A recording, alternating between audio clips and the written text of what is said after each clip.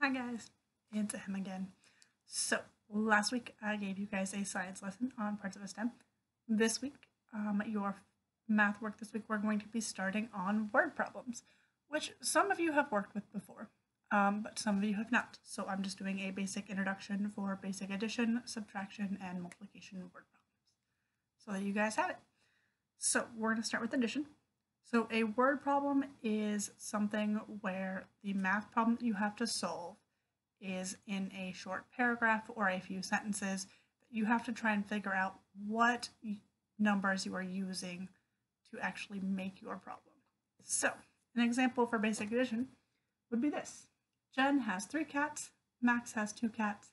How many cats do Jen and Max have? So there's a couple different ways you could think of you can do it all in your head and think that, ah, there's three cats and two cats, and so my problem should be 3 plus 2 because the question is how many cats do Jen and Max have? But what you could also do, if you're just starting out, is you could draw it out.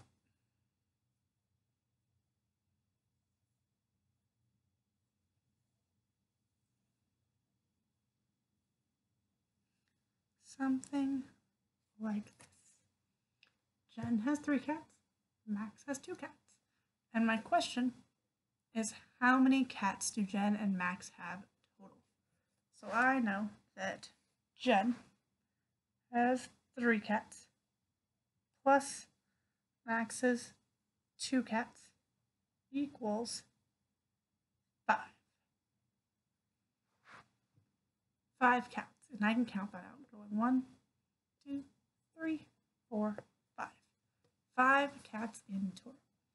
So those of you that are starting out on basic um, addition problems, this is where you're going to start out this week, is with this level of addition problem. And eventually we're going to move them up so that they're a little bit harder.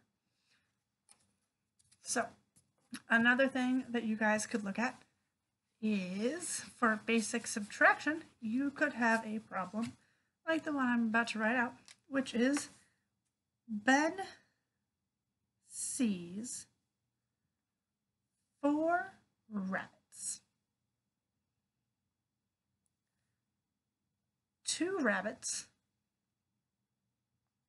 hop away. And then how many rabbits are left is the question. So a word problem is always going to give you some information about usually different people or different items and how many of them there are. Some of that information as you go on later will be relevant. Like I could say that there was three red rabbits, two yellow rabbits, and one brown rabbit. And it could ask about different questions for different types of things. But in this case, we have information about Ben, who is a person, what he sees, which is four rabbits, what happens to some of the rabbits, two of them hop away, and then our question, which is how many rabbits are left? So we could do this where we just think about our numbers and what happens in our question and figure it out that way. But if you're not quite ready to do that yet, you could do something like this.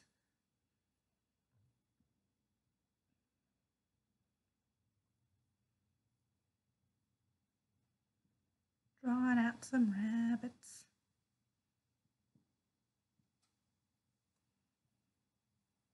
In this case, I don't need to draw Ben, just like I didn't need to draw Jen or Max for the last one, because it's not that important. My question is asking what happens to the rabbits. So I have four rabbits. They're really cute and adorable. And then two of them hop away.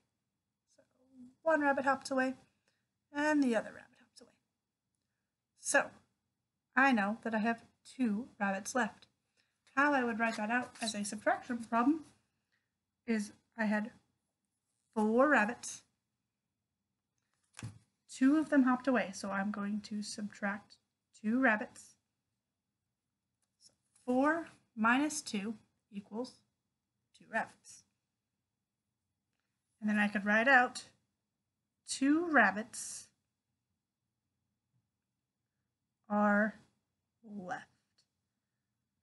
Now, when you are writing out the answer in word form to a subtraction problem, if you are at the point when you're writing Dolly Word, you can do that. Um, you always want to have it be a complete sentence. So if I just said two rabbits for my answer, two rabbits what? Two rabbits left, two rabbits came and joined the other rabbits, two rabbits are dancing. Don't know. So answering that two rabbits are left in the group is what you want to do. So that would be a basic subtraction problem. Um, basic multiplication for those of you that are on multiplication. Um, if you get to the point where you're at a problem that you don't have, you don't really have to listen to that little bit of part. That's fine if you feel like you would get confused. Basic multiplication. Um, it gets a little bit trickier. Um, you do have to know some of your multiples for it, so it is good work for those of you that are working on your multiples. So the basic multiplication problem I'm going to use is Andrew wants to make sandwiches for his friends. Very nice of Andrew. Um, so he wants to make some sandwiches for his friends. In this case, the type of sandwiches doesn't really matter. So, Andrew, though, has four friends. Four friends. If he makes three sandwiches for each friend. How many sandwiches will Andrew make?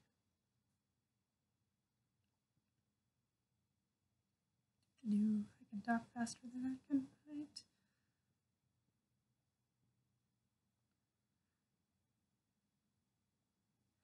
This is where it gets a little bit tricky. We have a lot more information here than we had for our basic addition and subtraction.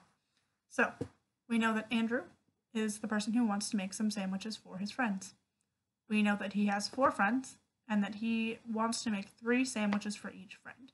And our question that we want to answer is if he makes three sandwiches for each friend, how many sandwiches will Andrew have made? So our numbers here that we have in this equation are 4 and 3. So if I know that this is a basic multiplication problem, I know that I'm going to be wanting to work with my multiples of 4 and my multiples of 3. So, Andrew has four friends. I'm going to draw his four little friends here. And you'll get to the point where you don't have to draw them, but I think it's helpful when you're learning how to do them to help you extrapolate what information you need.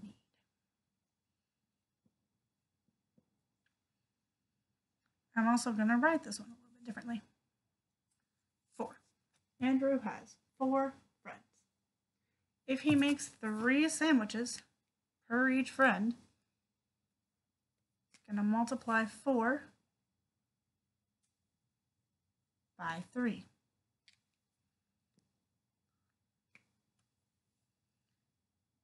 Which means I draw three sandwiches underneath for each friend. I'm just going to draw little squares for sandwiches. One, two, three. One, two, three. You can't see that. One, two, three. And one, two, three. I can see, if I counted, or if I was counting because I went along, that 3, 6, 9, 12. Andrew has made 12 sandwiches. And that would be what I would write the answer as. Is not 12 sandwiches. I would write out a complete sentence of Andrew has made 12 sandwiches.